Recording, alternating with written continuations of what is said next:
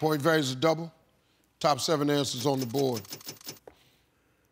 Name a word starting with S that describes most of your underwear. Short. Short.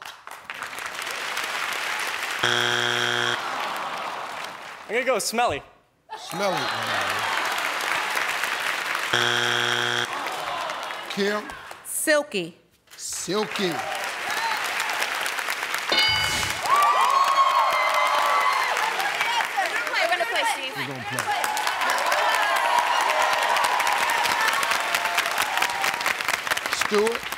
Name a word starting with S that describes most of your underwear. Sexy. Come on, Stuart. Yeah. Sexy.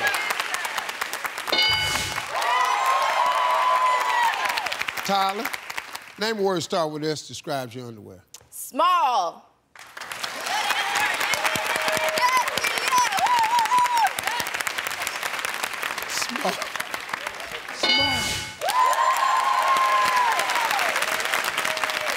Name a word starting with S that describes most of your underwear. Smooth. Smooth.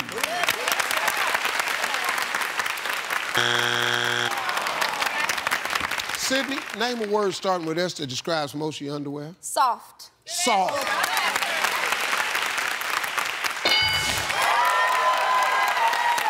Kim, name a word starting with S describes most of your underwear.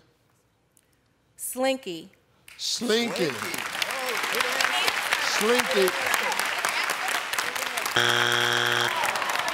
No, but this about to be the best answer right here. Come on, Stuart. Two strikes. The wife and the kids is listening. Cam Mack family can steal. Name a word starting with S that describes most of your underwear. Well, Steve, like you said, you like them uh, small. Yeah. I like to see through them, so I want them sheer.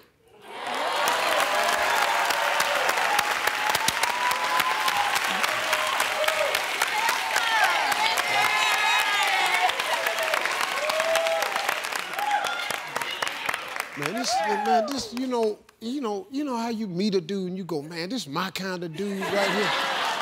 You know, I just, I'm just sitting up here just Stuart. He got that swag about him. He cool, you know, he old school. We in there feeling each other. And then he gives this answer, which draws me even closer to him. Shoot.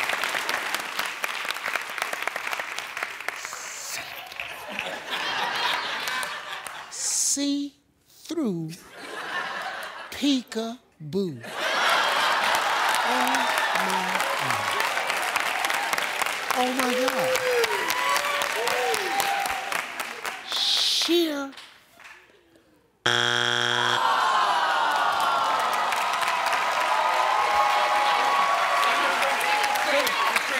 Name a word starting with S that describes most of your underwear. String. Good answer, Mom. String. String. String.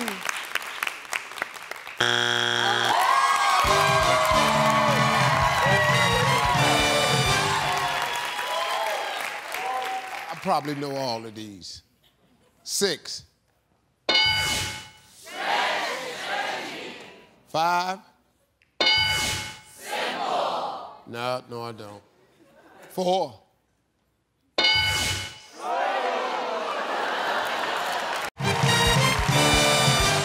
Well, welcome back Celebrity Feud, everybody. Don't forget the Chainsmokers' new single, Who Do You Love, featuring their opponents, Five Seconds of Summer, is out now. And they got tickets for their 42 city North American Arena tour, World War Joy. Yeah. They're on sale right now. Hey, let's get it on. Give me Roy, give me Callum. Go.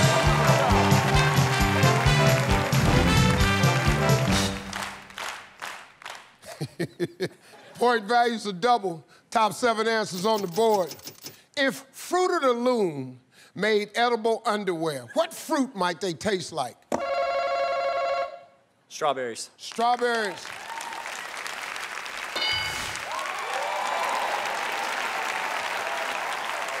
Nice job. Not, not Australian fruits. Matt, Matt.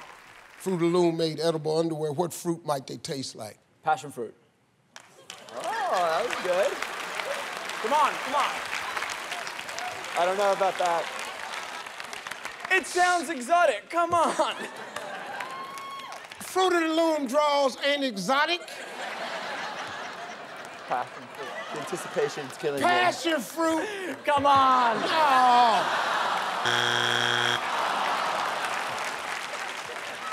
That was a good answer. It wasn't a good answer. Try, Matt. You don't, you don't want to be on the tour? I'm, I'm, I'm, Why don't you just tell them? He's trying to get kicked out of the band. Matt, just tell them. You don't have to do this. You can just say, hey, fellas, look, I've just been thinking about it. I really don't want to tour. It's a bit much for me. All right, Craig, if Fruit of the Loom made edible underwear, what fruit might they taste like? Um, grape, because they taste grape. not the time. Grapes. Alex, if Fruit of the Loom made edible underwear, what fruit might they taste like? Bananas. The banana.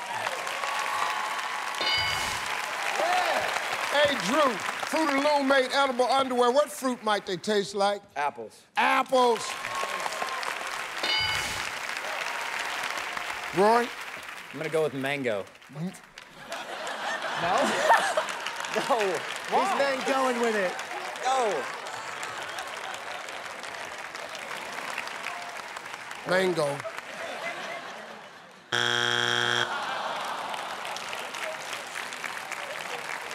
Matt, I'm ready. two strikes.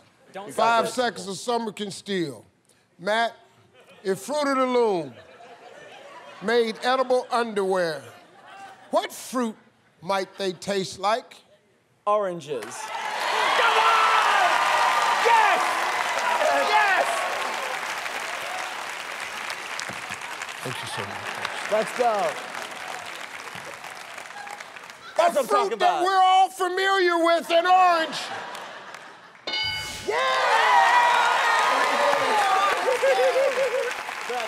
You got this. Craig, two strikes. Got to be careful. Five seconds of summer can steal. Peach? Peach. Uh, uh,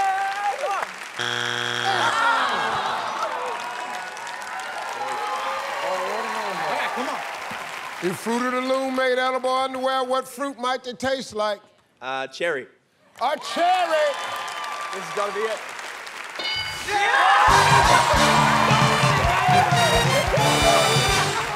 Number six. Top eight answers on the board. We asked 100 men. oh, we asked 100 men. This is gonna be so good. Name something your wife wears to bed now that she didn't wear when you were dating. Sam. Lingerie. Lingerie.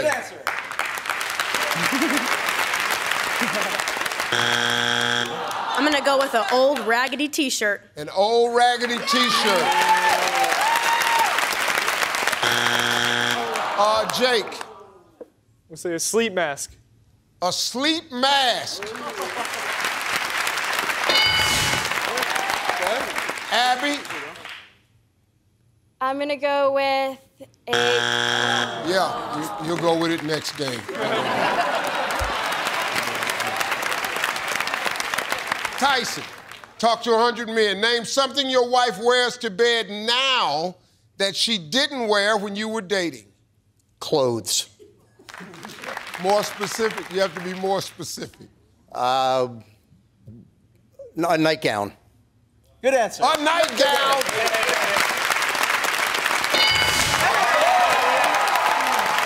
That nightgown with all the fuzz balls on it. TJ, you don't even know what the hell we're talking about, Nope. but name something your wife wears to bed now that she didn't wear when you were dating. I'm gonna say one of those CPAPs, the mouth things that helps you breathe. A CPAP that helps you breathe. Come on, Steve. Come on, That's way too scientific of an answer. come on, A CPAP. come on.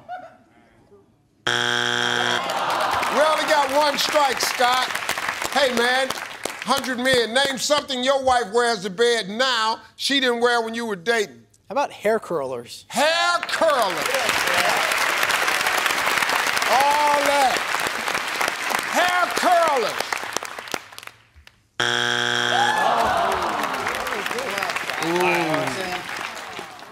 Missing some good ones here. Come on, Sam, we got to pull it together. The women can steal.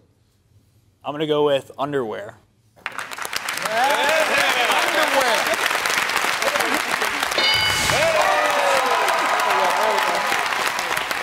Panties is here. Granny panties is here. Jake, 100 men. Name something your wife wears to bed now that she didn't wear when you were dating. I'm gonna go with earplugs. What? Earplugs!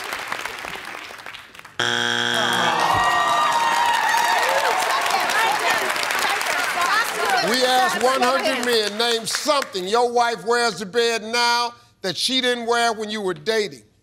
We're gonna go with sweatpants, Yes. Steve. Yes. Sweatpants. Eight.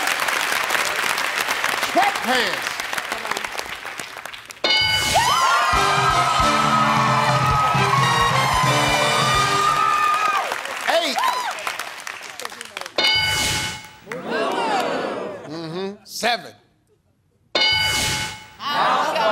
You was close, man. You was close. You was close. Four.